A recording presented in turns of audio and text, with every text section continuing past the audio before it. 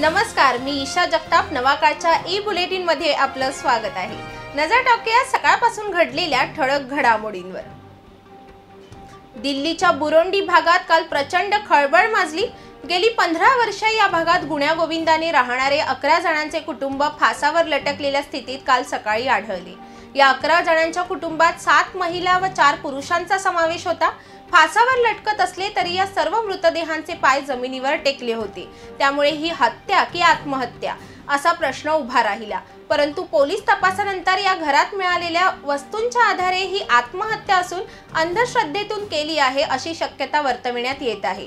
तसेच या घराच्या एका भिंतीला बाहेरून अकरा पाईप लावल्याचे आढळले.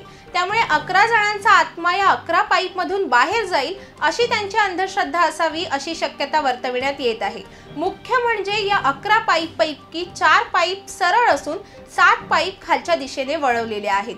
त्यामुळे कुटुंबातील चार पुरुष आणि सात महिलांच्या आत्महत्येशी या पाईपांचा संबंध आहे का याचा तपास सुरू आहे. राज्यात प्लास्टिक बंदी लागू केलेली असतानाही काल वरप कल्याण येथे झालेल्या मुख्यमंत्री देवेंद्र फडणवीस व वनमंत्री सुधीर मुनगंटीवार यांच्या कार्यक्रमादरम्यान प्लास्टिक ग्लासचा वापर करण्यात आला. यामुळे प्लास्टिक बंदीबाबत सरकार किती गंभीर आहे हे चित्र यानिमित्ताने स्पष्ट झाले.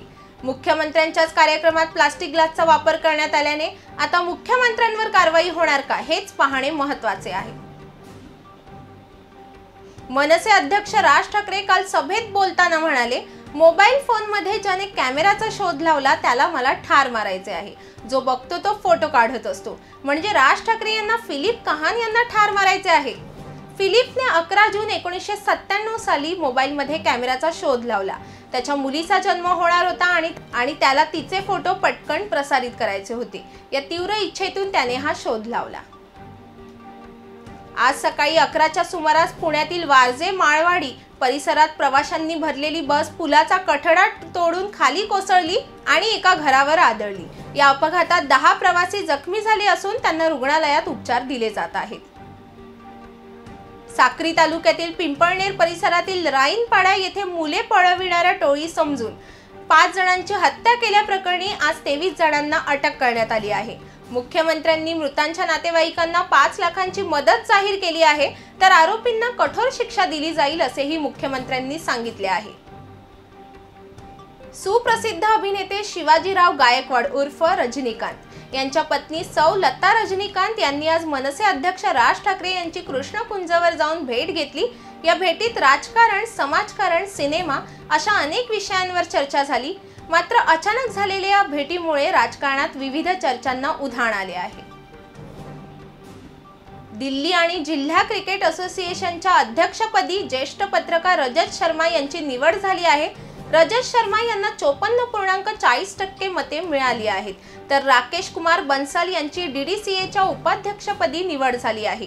बन्सल यांना एकूण अठ्ठेचाळीस पूर्णांक सत्याऐंशी मते मिळाली आहेत. असोसिएशनच्या कार्यकारिणीची तीस जूनला निवडणूक घेण्यात आली होती.